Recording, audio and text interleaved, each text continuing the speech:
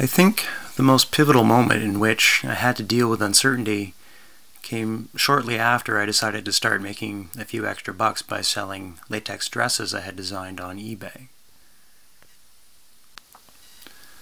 I was still very new to the whole business of clothing design and had only one style of dress that was modeled on my girlfriend's very thin and petite body type. Talk about your minimum viable product. Anyway, I had sold a couple of these dresses and thought things were going well when my third customer ever turned out to be a very well known and popular latex supermodel. This woman was gorgeous and curvy and had enormous breasts. She was a bombshell in many ways, and I had no idea how to make a dress that would fit her. I was paralyzed by this situation. On one hand, I really wanted her business, but on the other hand, I was petrified of screwing up with such a high profile client and potentially ruining my reputation forever. So, my way of getting past this uncertainty was to start asking questions. What do I need to learn to make this work? Who can I talk to about that? I started talking to friends of mine who had gone to fashion school and ended up paying one of them to teach me a little bit about pattern drafting. Armed with these newfound skills, I set to work making a custom dress for my superstar client.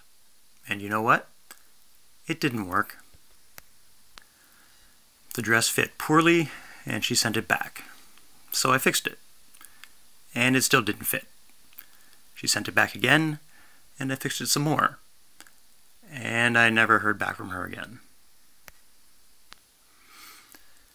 Now, I could have let this setback get me down, and for a while I did, but I kept at it. I learned as much as I could about pattern drafting. I bought books, I asked more questions, I practiced almost every day, and I discovered that not only did I love learning this new skill, I was damn good at it.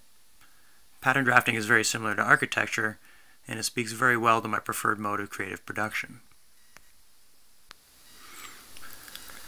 Now, six years later, this is my full-time business, and I developed a reputation for excellent craftsmanship and finely tailored clothing of all types.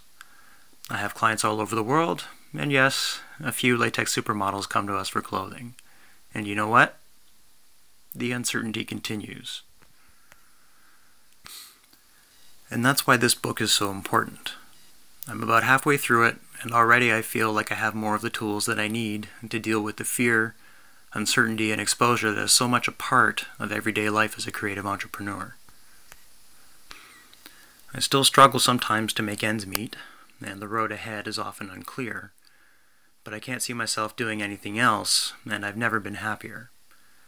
I owe a small part of that to you, Jonathan, so I'll make you a promise. If you keep writing, I'll keep designing. Thank you so, so much.